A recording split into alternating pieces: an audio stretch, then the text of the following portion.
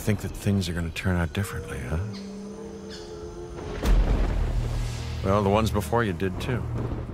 A pesar de las altas expectativas que había depositadas en él, tenemos que admitir que Jurassic World Evolution nos ha dejado con una ligera sensación de decepción. Si bien cuenta con una base muy buena y sólida que nos ha tenido entretenidos creando nuestros propios parques jurásicos, al final lo que nos hemos encontrado es un juego de estrategia y gestión demasiado corto y limitado que no consigue explotar del todo su potencial. Never really possess it. Because if there's anything that chaos theory has taught us, it's that nature is on its own course. And when we interfere, when humanity tries to put nature into orderly boxes, chaos destroys them. And what makes us such La clave del título reside en crear y mantener a muchos dinosaurios para atraer visitantes dispuestos a dejarse sus ahorros de toda la vida para verlos. Para crearlos, simplemente nos bastará con mandar expediciones por todo el mundo para buscar fósiles y yacimientos de los que extraer genoma de diversas especies. Una vez tengamos al menos el 50% del ADN de una de estas criaturas, la podremos incubar para así, finalmente, soltarla en su cercado. Aquí es donde tenemos la que se ha convertido sin duda en nuestra parte favorita del juego, los dinosaurios. Además de estar exquisitamente recreadas a nivel visual, estas bestias no dejan de ser seres vivos con sus propias particularidades y manías, algo con lo que tendremos que aprender a lidiar. La primera vez que soltamos a un nuevo tipo de criatura en un cercado suele ser todo un acontecimiento, ya que no sabremos demasiado sobre su especie, así que nos tocará estudiar sus comportamientos y sus diferentes hábitos para que se sienta cómoda en su nuevo hogar. Considerando que tenemos más de 40 posibles bestias a nuestra disposición, podréis ver rápidamente lo entretenido que puede llegar a ser estudiarlas para dar con las mejores combinaciones posibles. Un proceso que resulta muy sencillo e intuitivo gracias a la ayuda que nos brindan las fichas de estadísticas de cada ser al que damos vida. La única queja que tenemos en este sentido es que no nos dejan crear ni seres acuáticos ni voladores. Una auténtica pena, ya que le habría dado una mayor variedad al título que no le habría sentado nada mal por desgracia es a la hora de construir el parque en sí cuando empezamos a notar sus carencias. Para empezar, tenemos un sistema de progreso extremadamente lento y poco satisfactorio que nos limitará muchísimo durante las primeras horas, por lo que tendremos que jugar durante un buen rato pudiendo construir únicamente los mismos edificios y dinosaurios, convirtiendo estos primeros compases en una experiencia un tanto tediosa y aburrida.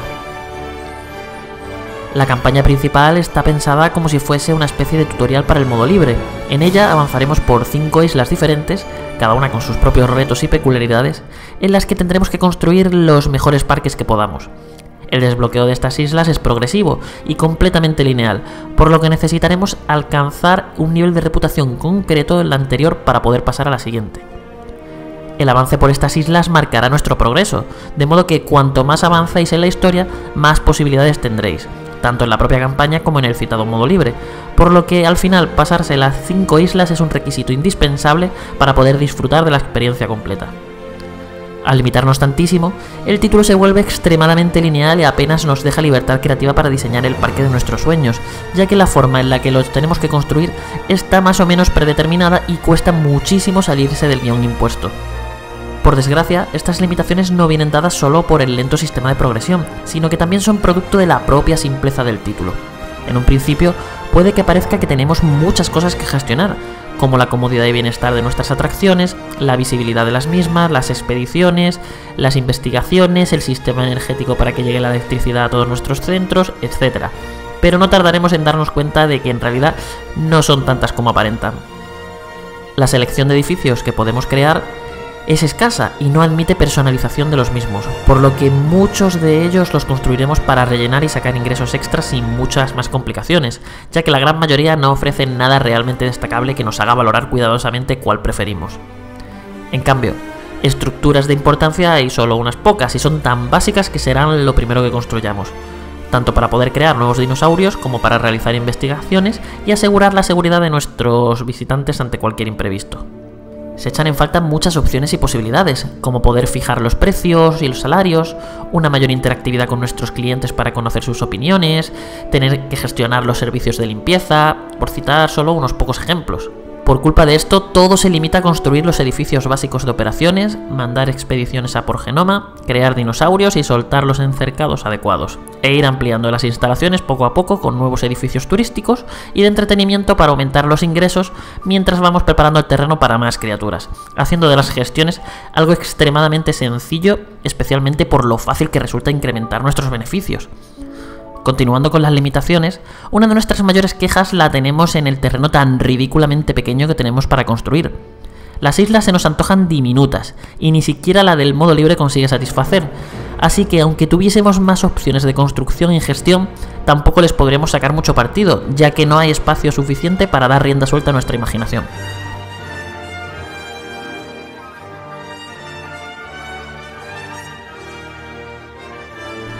Por supuesto, para darle algo de emoción a la partida tendremos que afrontar multitud de posibles problemas e imprevistos, como sabotajes, dinosaurios que encuentran la forma de escaparse de sus cercados, fallos eléctricos, epidemias o tormentas tropicales que lo arrasan todo, por mencionar solo algunos. Este tipo de cosas que tan mal suelen acabar en los films de la serie, aquí al final solo quedan relegadas a meras molestias temporales, ya que lidiar con ellas se convierte en algo sorprendentemente rutinario y mecánico que una manada de velociraptors se escape y se coma a tus visitantes es algo que debería demandarte de forma casi directa a la quiebra.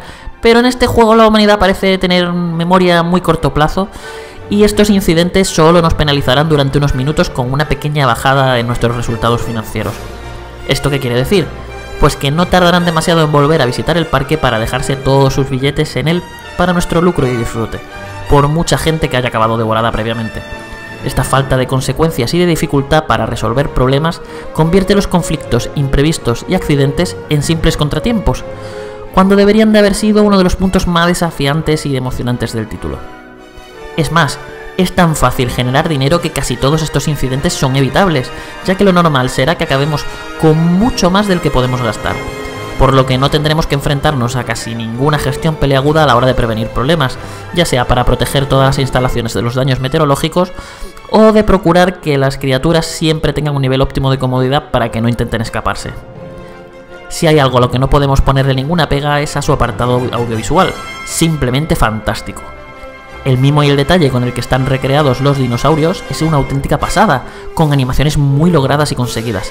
Si os gustan estas criaturas, probablemente acabaréis pasando mucho tiempo admirándolas como si fueseis un visitante más. Los escenarios también están muy conseguidos y quitando algo de popping es fácilmente el juego de gestión más espectacular que hemos jugado hasta la fecha. El sonido sigue esta misma tónica, utilizando las fantásticas piezas musicales que hemos escuchado en las películas, los mismos efectos e incluso los mismos actores de doblaje de los dos últimos films en su versión española, manteniendo la autenticidad con la licencia en todo momento. Jurassic World Evolution es un juego de estrategia y gestión con mucho potencial y grandes valores de producción que se ha quedado demasiado limitado en lo jugable. Acierta de pleno al convertir a los dinosaurios en las grandes estrellas de la función, pero fracasa a la hora de hacer realmente divertida la construcción, gestión y resolución de problemas de nuestro parque, impidiendo que se convierta en el juego definitivo de Jurassic Park que tantos años llevamos esperando. And what makes us such unique creatures is knowing the scope and power of what we're up against and still believing that we can win. I know, however, what I would predict.